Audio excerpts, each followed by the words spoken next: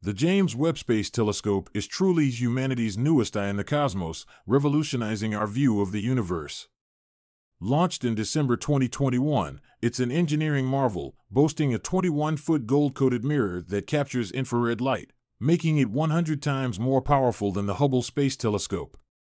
This incredible capability allows JWST to peer through cosmic dust and observe galaxies that formed over 13 billion years ago, giving us a glimpse back in time to just moments after the Big Bang. Orbiting the Sun a million miles from Earth, JWST avoids our planet's heat and light thanks to its massive sun shield, the size of a tennis court. This keeps its instruments cool enough to detect the faintest whispers of light from distant stars and planets.